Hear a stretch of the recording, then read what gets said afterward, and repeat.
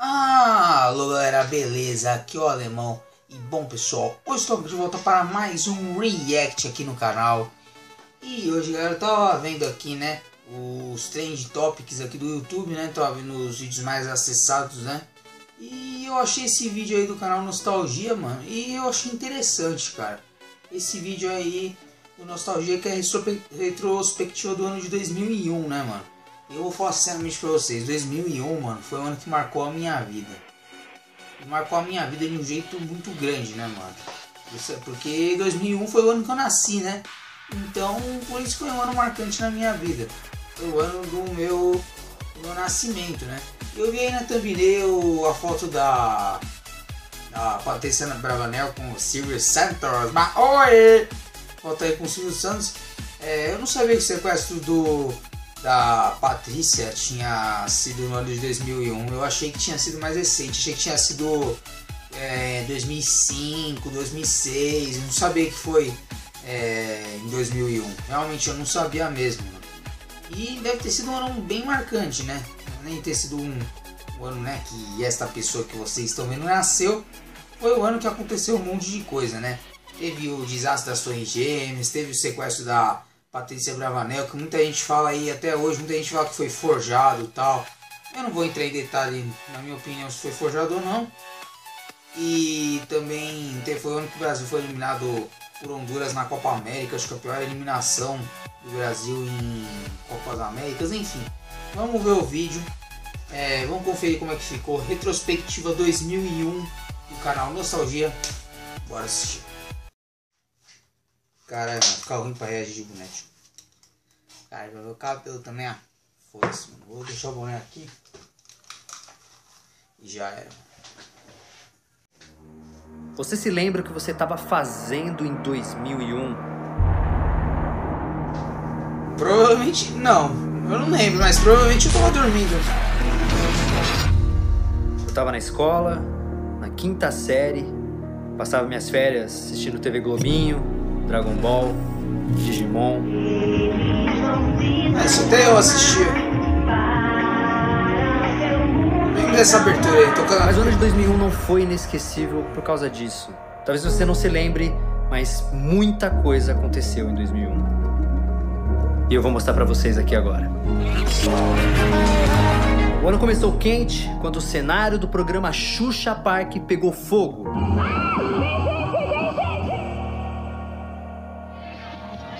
No Rock in Rio 2001, uma cena histórica. Uma multidão começa a vaiar e jogar copos e garrafas no cantor Carlinhos Brown. Nossa, pode pôr, Carlinhos Brown. Pode jogar o que você quiser, que eu sou da paz e nada me atinge. Nada me atinge, eu sou Mano, pra que isso, mano? Pra que fazer isso? George W. Bush toma posse na presidência dos Estados Unidos. God bless you all. God bless America. Eu ainda não tinha nascido, mano. Janeiro não tava aqui ainda. Tava na barriga de mamãe.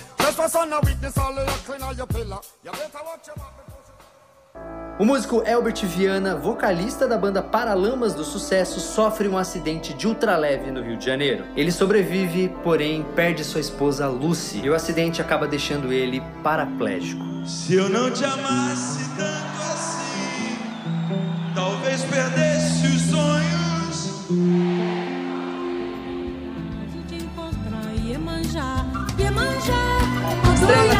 a novela Porto dos Milagres.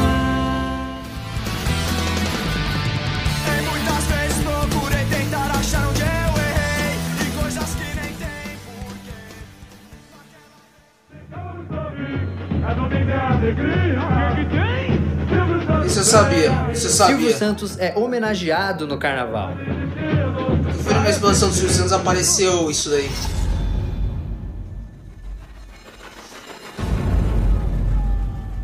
Gladiador, o filme estrelado por Russell Crowe, ganha o Oscar de melhor filme. Russell também leva o prêmio de melhor ator. Russell Crowe em Gladiator.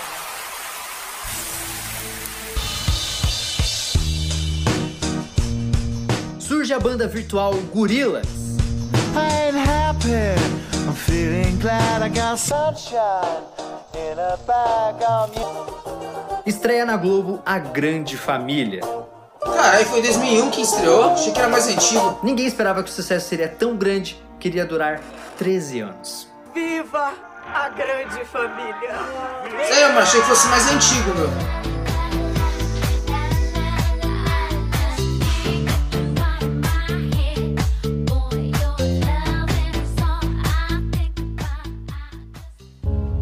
Anunciado no Brasil o plano de redução de 10% do consumo de energia elétrica.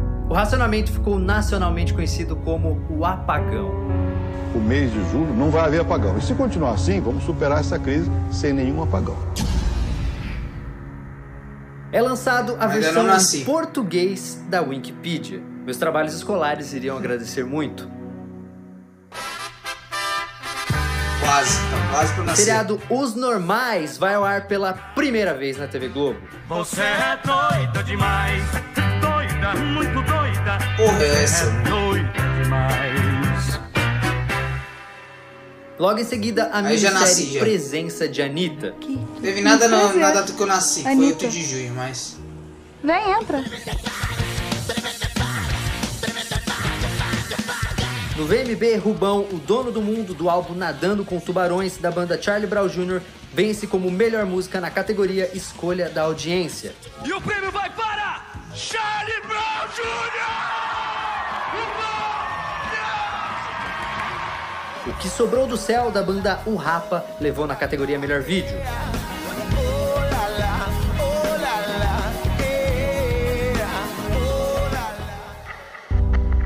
Sequestro da Patrícia. O Brasil vive momentos de tensão quando Patrícia Abravanel, filha de Silvio Santos, é sequestrada em São Paulo. O homem que sequestrou Patrícia Bravanel mostrou ser um bandido frio, capaz de ações inesperadas. na cadeia, A mano. perseguição a Fernando Dutra Pinto começou ontem à noite e mobilizou dezenas de policiais. Patrícia foi liberada depois de sete dias após o pagamento do resgate. Eu endosso e me surpreendo com esta filha que me dá um trabalho fora do comum. Eu devia, eu devia pedir aos sequestradores que ficassem mais tempo com ela.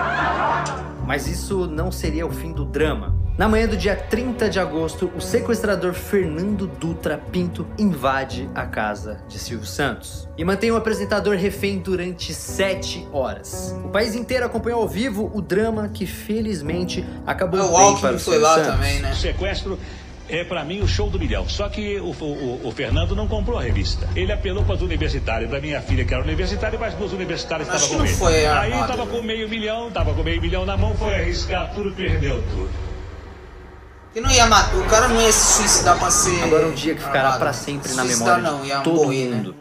We have serious news of a major possible air crash O States. grupo terrorista islâmico Al-Qaeda, liderado por Osama Bin Laden, promove uma série de ataques suicidas nos Estados Unidos. Dois aviões controlados por terroristas atingem as Torres Gêmeas. A maior potência do planeta é alvejada pelo terror. World Trade Center, Nova York. No mais importante centro financeiro do mundo, uma torre queima depois de ser atingida por um avião. Enquanto o incêndio avança no arranha-céu, um segundo avião é jogado contra a torre vizinha.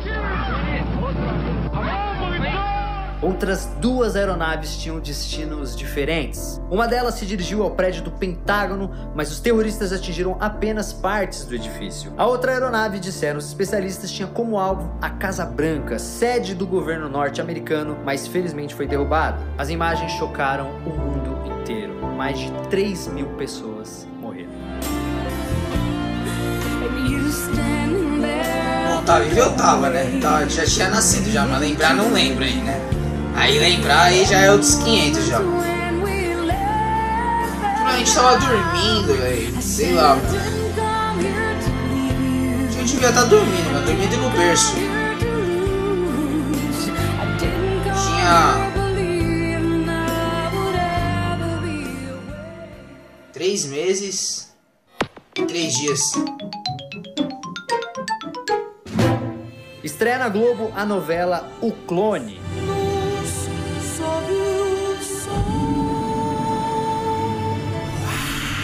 A Microsoft lança o seu sistema operacional Windows XP. Achei que fosse mais recente. O SBT lança Casa a primeira Artistas. edição da Casa dos Artistas. Atualmente a Fazenda, entrar né? O, o nosso segurança com os 300 mil? Ai, Silvio! Sim ou não? Pode, Silvio! Pode entregar o dinheiro pra ela. Um ano muito ruim para a nossa seleção brasileira, que sofreu derrotas para adversários inexpressivos como Equador, Austrália, Bolívia e até Honduras. Com a fase horrível, a classificação para a Copa do Mundo de 2002 ficou seriamente Graças a Deus ameaçada. foi Mas no fim o Brasil respirou aliviado com uma vitória em cima da Venezuela. Agora Luizão não desperdiça. Uma linda jogada até os pés de Luizão. 2 a 0, 3 a 0 e é só o primeiro tempo. A Microsoft lança o videogame Xbox. Today isn't about you, it's about the new Xbox. And quite frankly, I couldn't be more excited. The Xbox Cara, is Xbox é tão velho assim? Cutting edge, powerful, exhilarating. Ah, que And esse like Xbox, né? O de hoje em dia é o will be the 360, most né? electrifying thing coming out this year.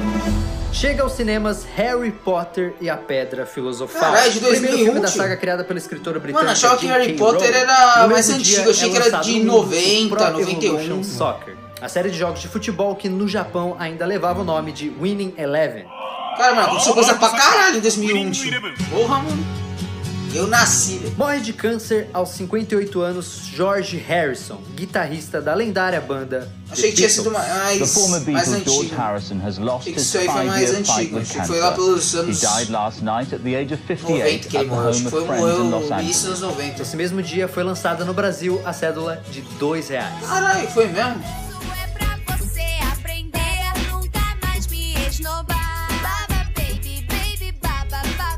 Kelly Key lança o seu primeiro álbum. Baby.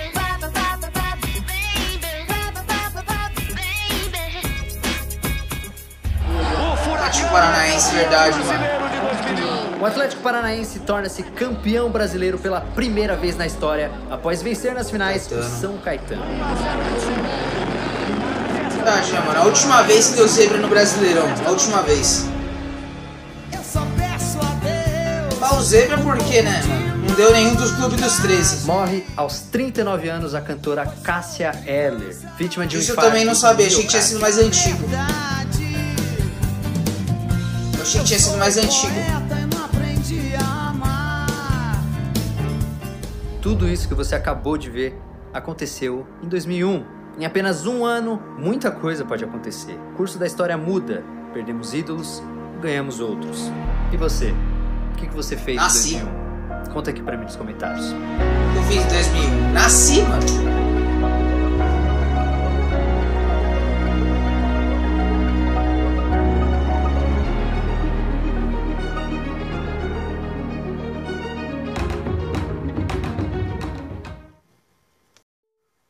Caramba, mano, coisa pra caralho com você 2001, meu, tá louco, mano. Você é louco, eu não sabia que tanta coisa assim aconteceu é, em um ano só, meu. Realmente aconteceu bastante coisa, meu. Pra provar pra vocês que eu nasci em 2001, vou pegar meu RG aqui, que tá aqui, mano. Vou pegar. Aqui, ó. Data de nascimento, 8 de junho de 2001, mano.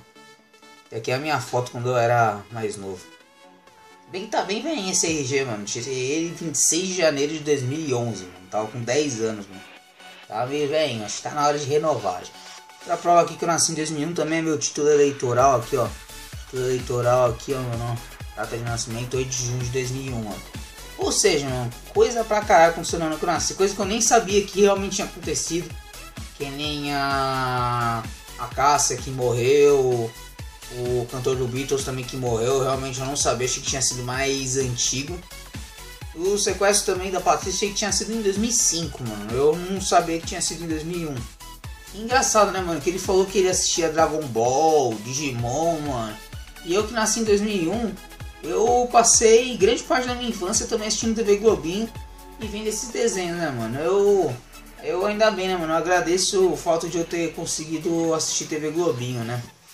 Já a geração de hoje em dia não acaba não tendo o mesmo prazer, né? Já que tiraram a TV Globinho do ar, né?